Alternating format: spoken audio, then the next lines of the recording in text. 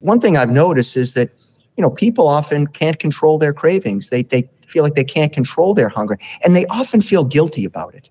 And I guess I'd like to say, you know, you don't need to feel guilty because it may be the bugs in your gut. You've been a practicing clinician for over 25 years. And I suspect you've observed the benefits of Pendulum's formulas in your own patients. Can you tell me about your experiences and why you wanted to become more involved with Pendulum? Sure, I'd, I'd be happy to. As you've just said, I've really been doing integrative and functional medicine for over 25 years, but within academic health centers. I was at Duke prior to going to Mayo Clinic and, and had the honor of running and developing their integrative and functional program. And as anyone who is familiar with functional medicine, certainly anyone who has read your newest book, and which which I did and I loved, would agree that if you're interested in looking at root cause of chronic disease, which I certainly am, you need to think about the gut. And so I developed a strong interest in the gut and the microbiome and the relationship to the development of chronic diseases. The quick story is that I gave a few lectures a couple of years ago, grand rounds at the medical center, and a lecture at a Mayo Clinic nutrition conference on this connection between the gut, the microbiome, and chronic disease. Our CEO, Colleen, who I know has been on your, your podcast, I think saw that. Interestingly, uh, Mayo Clinic uh, was so impressed with the science of Pendulum that Mayo Ventures was an early investor in the company. So I think through that, Colleen reached out to me at Mayo to see if I could do a, a, study on their product on type 2 diabetes. And, you know, I was already familiar with the product because I was using it in my practice. I was getting good results, you know, always in addition to diet and lifestyle, but I was seeing improved metabolic health, patients better able to manage their cravings and hunger and, and, and live at a healthier weight. Um, and so was familiar with the science, but in designing this clinical trial for the company, really got a chance to dive deeply into the science and was really impressed uh, the commitment of the company itself to the science. And so when six months ago or so now, when the chief medical officer decided to retire and the position became available, you know, I, I really hadn't been thinking about leaving Mayo, but this just seemed like such an amazing opportunity to be a part of a company that's really having a profound impact on the health of individuals through this understanding of the science of the microbiome and how it influences so many aspects of our health.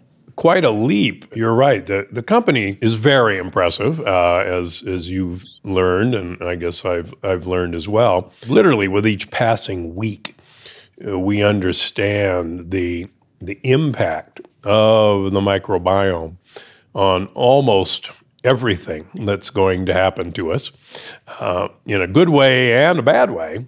Um, that this is at least part of the future of precision medicine. Without a doubt, and, and really precision probiotics. I know you're a, a fan, for example, of Akkermansia. I'm, I'm sure you've had uh, interesting experiences with your patients in your clinical practice using some of these strains as well. Yeah, absolutely. And uh, about 80% of my practice now is, is autoimmune patients mm-hmm. who have most of the ones who end up in my clinics uh, have been everywhere and don't particularly want to take transplant drugs for the rest of their lives. Um, uh, I don't blame them as a transplant surgeon. Um, that's not a good idea unless you have a transplanted heart or kidney or liver. They want to try to get off of these drugs. And I found that, you know, fortifying the gut wall, number one, uh, and the mucus layer with Akkermansia. We can observe it in, in leaky gut tests on these folks. And I think the other thing I think we need to talk about, of course, is the whole ability of Akkermansia as a keystone species for promoting butyrate producing uh, bacteria and happiness is something that we all uh, we I can observe in my practice. So it's a good thing. It's a very good thing, undoubtedly. So when I interviewed Johnny from Pendulum about it's been about six months ago on this program, we talked a lot about GLP one. But for anyone who hasn't seen that episode, the term GLP one probably starts sounding familiar for anyone who's watched advertising and watched social media. I think it's a great place to start. Um, so, what can you explain about this unhunger hormone. Right. The unhunger hormone. Well, even nowadays, with uh, all the electric vehicles out there, I'm sure pretty much all of your listeners, uh, you, me, we've experienced filling our gas tank up at the gas station. And, you know, it's amazing. You put the nozzle in, you, you click the little bottom uh, bar there, and it just fills up and it keeps going. And you can wash your windows or check your text messages. And somehow that device is able to sense when the tank is getting full and it automatically shuts off the gas so that you don't overfill your tank and have the gas go all over your car and of course all of that. And in many ways glp-1 is that sensor that turns off that fuel. So just kind of walking through it we eat a meal and a specific bacteria in our gut uh, break down uh, the foods and, and particularly as it gets to the large intestine we break down these fibers and polyphenols and that is really a trigger and i, loved how you talked about in your book is really the bacteria and all that they're doing really being signaling uh, things throughout the body and that's really the key concept. In this case the bacteria particularly akkermansia and clostridium butyricum some of the strains that we've put into the our products they actually lead to increased levels of butyrate and butyrate binds to these special cells in our gut called L cells that actually make GLP-1. There's more to the mechanism. Akkermansia makes this P9 protein that also stimulates GLP-1, but suffice it to say that through the action of the bacteria on the food that we eat, GLP-1 gets stimulated, and then it does a number of things, and very important things. It goes to the pancreas and tells the beta cells within the pancreas to release insulin, which we want to happen so that our blood sugar, our glucose doesn't go too high. It slows down uh, the movement of our gut, allows us to digest our food, and in some ways help us to feel a little more full. And then, very importantly, it also goes to our brain and tells us that we're not hungry anymore, that we should feel full now, that um, it's time to stop eating so that we don't overfill that tank. One of the things you and I have been in medicine long enough. I've been longer. Uh, way back, way back when. I mean, we really used to think of the gut as this, you know, hollow tube, and uh, food and stuff went in, and then magic happened, and a few interesting enzymes got thrown in by the pancreas and the and the liver from bile, and we absorbed sugars and proteins and fatty acids. And then whatever was left over, kind of, we pooped out as crap. And that was kind of the prevailing teaching. And we now know that it's so much more complex. And I think thanks to the Human Microbiome Project, number one, that we even knew these species existed, which we didn't know. And number two, that these single cell organisms were capable of controlling behavior uh, whether it's eating behavior, emotional behavior. So the mechanisms now are coming to the like these keystone species that without that there may not be these feedback mechanisms to stop us from eating, to regulate our eating, even control what sort of foods we're looking for. And, and of course, that's what gut check was all about. Right. Well, I mean, interestingly, I see maybe a little more diverse uh, population. But having been, as I said earlier, at Duke and of course Mayo Clinic, pe- people come to us there because they haven't gotten answers from from some of the other perhaps providers they've seen, and so typically see very complicated patients. But also do a lot of work around weight loss and have historically. I oversaw administratively the Duke Diet Center when I was there, and one thing I've noticed is that you know people often can't control their cravings. They they feel like they can't control their hunger, and they often feel guilty about it. And I guess I'd like to say, you know, you don't need to feel guilty because it may be the bugs in your gut and and not your willpower or something else that that really is on you. I think the good news is that to your point now is as the science has really advanced, as we begin to understand some of these uh, bugs that were difficult to grow because they're anaerobic, can't be exposed to oxygen, we're beginning to realize that they have a profound influence on our behavior, how we may be feeling emotionally, and of course, whether or not we're feeling full, whether or not we're having cravings for different types of food. I talk about it in Gut Check. I like the gut centric theory of hunger. And as people hear about these particular pharmaceuticals that may impact this, I think it all comes back to this hormone, GLP 1, is produced by by the microbiome and or the interaction of the microbiome with other cells in our gut. I think that potentially explains why some people seem to always be ravenously hunger, hungry and overeat, and other people seem to just go, I'm not interested in that stuff. Right. Well, I mean, you know, I guess that's really the motivation behind the company developing this new GLP 1 probiotic, which really has three very specific strains that have been shown really in pre- preclinical studies to stimulate GLP 1, have also been shown to reduce hunger, reduce uh, cravings, uh, rather, and, and help people to live at a healthier weight.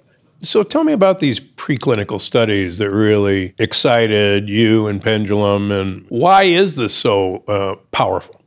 Well, I mean, I think we've talked a little bit uh, just a moment ago about sort of what happens in the body. I think what Pendulum did basically was took a number of years to figure out how to grow these, again, difficult to grow anaerobic bacteria. That's fine. I mean, but what they really did then was quite frankly, spend millions of dollars to build a plant in the US where they could actually manufacture an anaerobic probiotic and make it available to the public. And so they, of course, did a bunch of science to show and back up whatever claims they wanted to be able to make. And in this case, we were able to show that, in particular, Akkermansia and even the strains of the other strains of, of uh, probiotic that we use clearly can stimulate the release of GLP 1.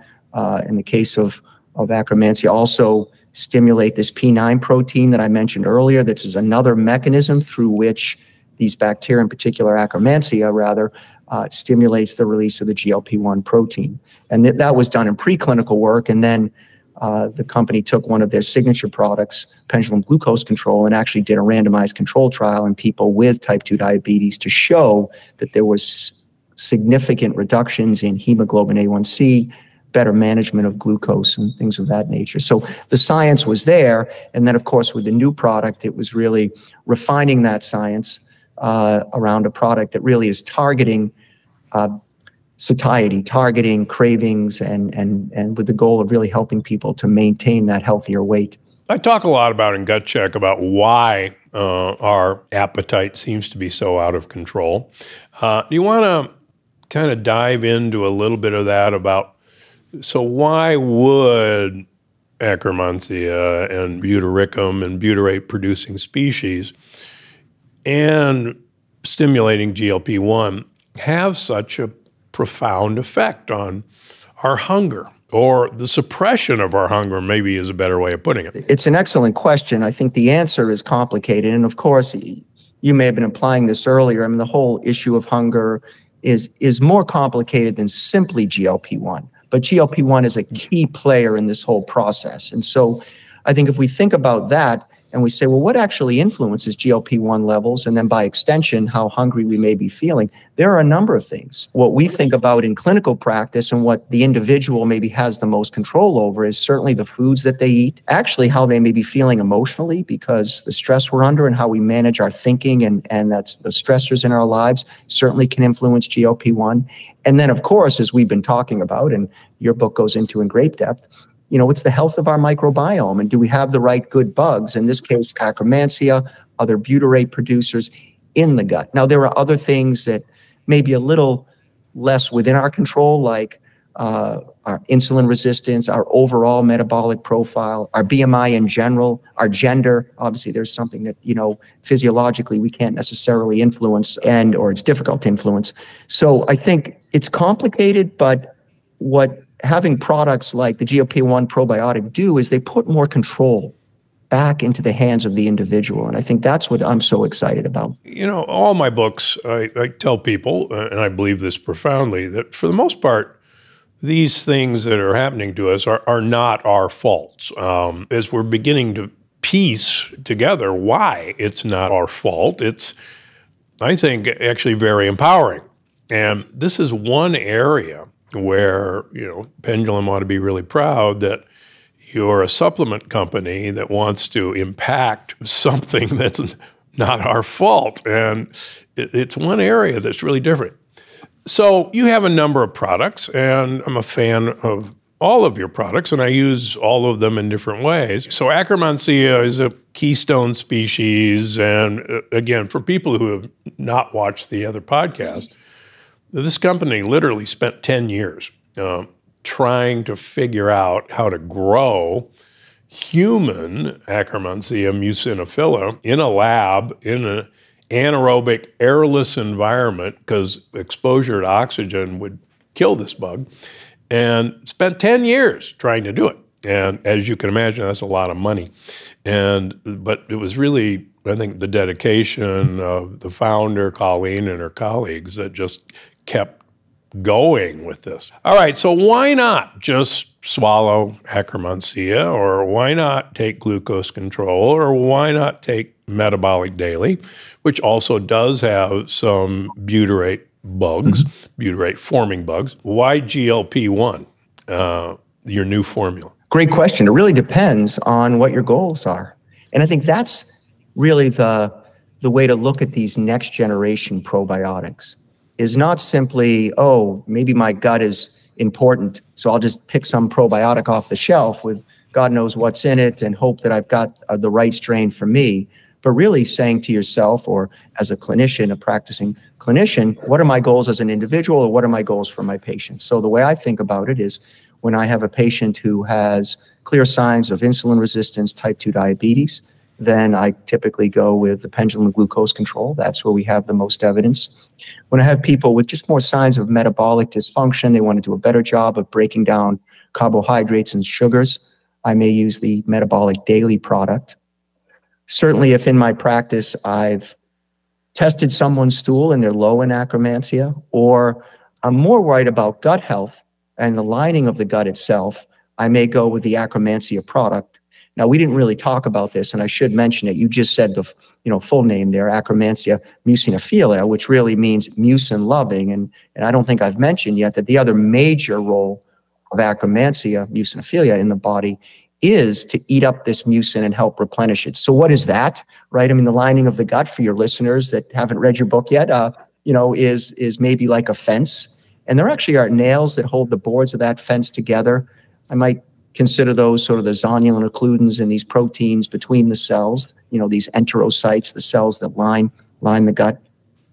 But there's also maybe some glue or or some sealant, let's say, that helps to uh, actually keep the wood healthy. And mucin helps to keep the the cells of the gut healthy, but also acts sort of like flypaper you know, also sort of catching things that shouldn't get through and into the bloodstream. And that's really the key with the integrity of the gut lining or the health of the gut lining is that we want to let in friend and keep out foe. And so one of the things that Akkermansia does is it really eats up the old mucin, sort of the old fly paper, and then it stimulates these cells called goblet cells to make more mucin, actually stimulates more goblet cells to be uh, to, to multiply, but leads to sort of a refreshing of the mucin. So in that case, I might use Akkermansia alone. With the new product that actually uh, is going to be on the market by the time this podcast airs, and so I'll, I'll mention this now that I know there's a code for people if they use Gundry when they go to order the product, they get 20% off of uh, a new order of uh, first order on memberships. I want to make sure to mention that. But for the new product, again, in, in preclinical studies, we've been able to show that the three components, these specific probiotics within that new product, do uh, stimulate the release of GLP 1. And then in some consumer research that we've done, uh, we've actually shown significant reductions in cravings. So we actually showed a 91% reduction in cravings. This was a consumer study done on 274 individuals. And when you look at cravings, they actually break it up into four different areas. And so we saw this sort of similar level of reduction within cravings for sugar, cravings for carbohydrates, craving for fats. And I love this that this questionnaire does this cravings for fast food. And this is a validated, you know, cravings food questionnaire. And so in all of those areas, we saw a significant reduction in cravings. And, and it's exciting to be bringing this product to the market. That's fantastic. Um, so this is different and a, a, different reason specifically for this new product than the other ones that might contain some of these same strains. It's nuanced, right? In our practices, obviously there's overlap, right? Because this is not cookie cutter, uh, and people have needs and desires that overlap. But but you know, again, maybe a way I could explain it uh, more clearly is, you know, that individual who is struggling to maintain a healthy weight who is interested in, in managing their cravings and their hunger perhaps better, you know, the new GLP-1 probiotic product is a great choice. Uh, in my practice, if I see someone who is trying to get off metformin through lifestyle and is having difficulty for their type 2 diabetes, as I've seen many times, I add in typically, you know, the pendulum glucose control in that scenario.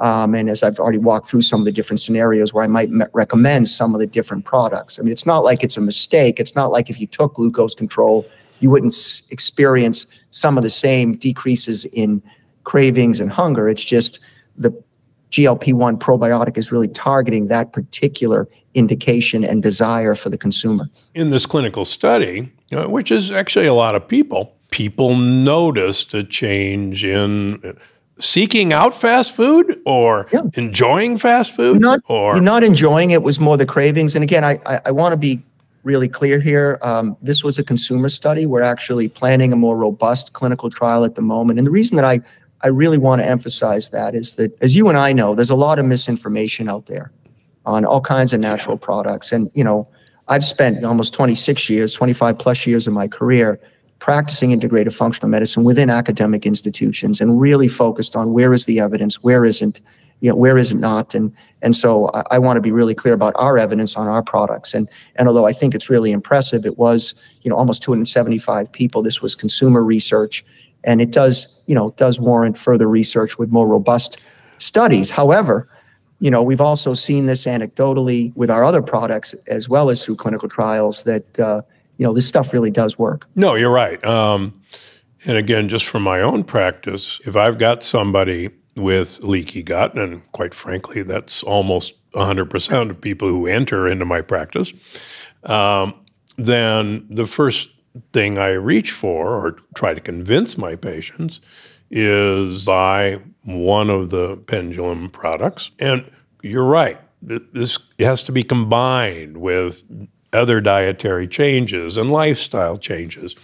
But anything that we can do to, to help the patient out and get that mucus layer improved and get a, a barrier, you're right, uh, and flypaper is a good way of describing it, getting a barrier reinforced that the patient can't do by themselves, um, quite frankly. Uh, in fact, let me let me say I don't do a lot of gut microbiome testing because uh, I come from the school that it's a nice Polaroid snapshot of basically today, but uh, that gut microbiome will change tomorrow depending on what you eat. But there are some keystone species, and a lot of my patients who come bearing these tests, uh, Akkermansia is frequently missing or really low. And interestingly enough, a lot of the short chain fatty acid producing species are really low, mm-hmm. uh, which doesn't surprise you and it doesn't surprise me. And you really cannot eat from most people effectively to suddenly get these guys in abundance. Is that a fair statement? I think it is a fair statement. And, and first, let me say that I am I'm in your camp. I mean, I, re I reference stool testing and, and finding low levels, uh, but I, I don't do a lot of stool testing in my practice. I will use it occasionally if I'm not getting the results that I would have expected to get through changing diet and through giving the right probiotics and the other aspects of lifestyle. But, but I don't jump right to that either. And, and I'm glad to hear you say that. I, I think the microbiome is a complex ecosystem and, and very individualized, right? And so some people respond uh, a certain way to one intervention and and others will have a very different response to that same intervention. And so i always start with improving someone's diet. I have found that i do need to supplement with probiotics but also i emphasize certain aspects of the diet. So are they getting enough fiber you know perhaps fermented foods? And certainly in the case of of some of these uh, butyrate producers are they getting enough polyphenols in their diet through fruits, vegetables, coffee, tea, spices. And if they're having difficulty to do that through diet, I mean, that's why Pendulum actually has a polyphenol product because we, we did see in our research that polyphenols really did help these bacteria, these probiotics to be more effective. And, and yes, some people have difficulty getting enough of that through their diet alone. Yeah, I get, I, I chuckle when uh, Pendulum came out with a, a polyphenol to help the probiotics. Because I've been saying that for 20 odd years now, but these guys go hand in hand in tandem in producing the products we want. So, when will this GLP 1 uh, probiotic uh, combo be coming out? Well, it'll be out by the time of this podcast. Uh, so, you know, be coming out in, in mid March, and I don't believe this will be airing until April, uh, if I understand correctly. So, it, It's available to whoever's listening to this right now. Again, you know, uh, obviously would encourage people to use the code Gundry and they'll get this 20% discount. And but we're just really excited uh, to be able to bring this product to the market. Maybe we didn't mention it, but what's the name of it? Oh, GLP probiotic, GLP-1 probiotic. Oh, okay, yeah. yeah. yeah, I'm sorry. We've been dancing around it, but you know, I was saying it like you know, not not realizing some of the listeners may not realize that's the name. It's actually GLP-1 probiotic. And that'll be easy to remember, folks, because you just have to turn on your TV every night and you'll hear GLP 1 in one way or another or on social media. Let me make this point too, right? I want to be very clear. The GLP 1 probiotic is not a drug, it's not a replacement for these GLP 1 analogs.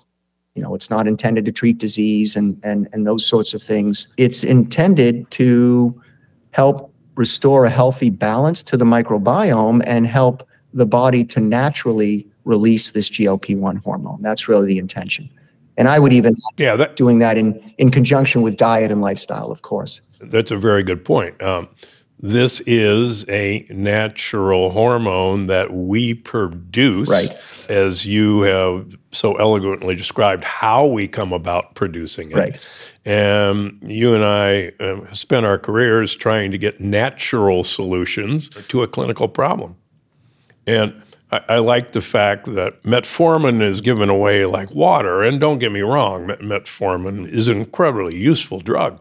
Uh, but I actually like to spend my time uh, weaning my patients off metformin rather than saying, well, we've got this fabulous drug to treat diabetes. Let's just use that and not worry about it. Yeah, it's such a gratifying way to practice medicine. I mean, literally, one of the last patients before I left Mayo Clinic uh, to come to Pendulum was a woman I was working with who was in her really kind of late 40s and had struggled with type 2 diabetes, but had really committed to lifestyle and came to me because, you know, despite having lost some weight and certainly made some progress, she was still on uh, metformin, albeit a low dose, and, and wanted to get off the medication. And so we made some tweaks to diet, but I added in pendulum glucose control in this case, of course. And right before I was leaving, she came back and was able to get off of uh, metformin, which is just such a gratifying thing, I, certainly for her, of course, but as a clinician, to be able to help our patients to reach these goals and to be able to do it without medication when possible, of course, uh, is, is right. just a wonderful thing. Don't get either of us wrong. I will certainly use pharmaceutical medications when they are needed, just like I tell my patients, well, if you break your leg, I'm going to put a cast on it. And but you're not going to wear a cast the rest of your life. You're going to heal your leg and we'll take the cast off. And that's how I approach these. You know, there are fabulous life saving pharmaceutical drugs. But a lot of times we can intervene to fix the original problem that caused the need for that. Totally agree with you. I think the other side of it is sometimes we tend to have this default to, oh, just take a pill, right? And and yeah, the medicine is important. And and you know, again, I I, I uh, believe wholeheartedly. I write for medications when they're required, but I also encourage just like with the probiotics, even with the medications, you still make the appropriate lifestyle changes uh, to support your body, to support your physiology and, and your overall health and well being. So, as the chief medical officer of Pendulum Therapeutics, uh, what are your visions for the future of probiotics and metabolic health? And, and how does GLP 1 probiotic uh, fit into this vision? Yeah, great question. It's funny you're asking me that now because I was sort of sitting here having this little thought in my mind that, my goodness, this is fun. I really enjoyed doing this with you. It's been such an honor. And I had this kind of quick thought like, well, let's see, a year from now, we could be talking about some totally different indication for these probiotics. And a year after that, it could be a different indication. And a year after that, a different one, because we're really realizing, again, this connection between the bacteria in our gut and pretty much every organ system, right? It's hard now to imagine or come up with an organ system that isn't influenced by the microbiome.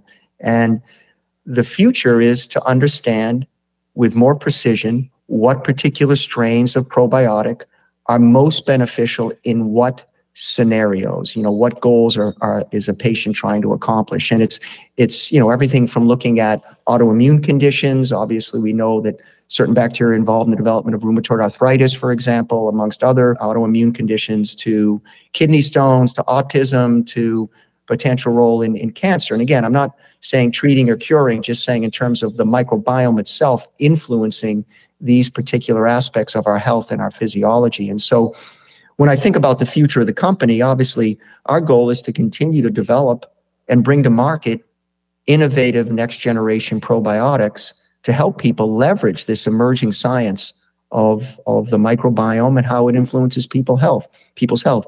When I think about the GLP-1 probiotic, you know, we're very excited about the preclinical work that we've done. We're very excited about the really robust results we got with this consumer study that we had accomplished.